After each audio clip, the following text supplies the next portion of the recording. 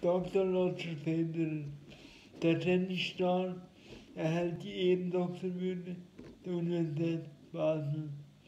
Die medizinische Fakultät würdigt damit seinen Beitrag, den Ruf von Basel und der Schweiz international zu mehren.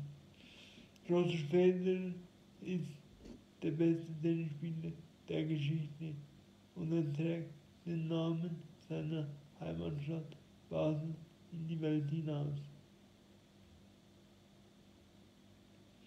Die Universität Basel verleiht ihm daher die Ehrendoktorwürde, wie sie am Freitagmorgen bekannt gab. Ausgeteilt wird er von der Medizinfakultät.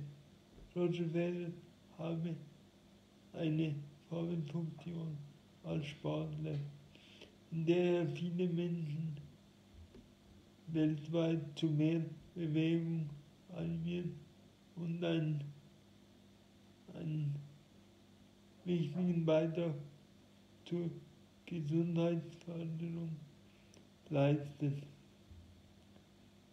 Wie es in der Begründung der Universität heißt, zunehmend der Roger Federer steht fern und vorbildlich auf.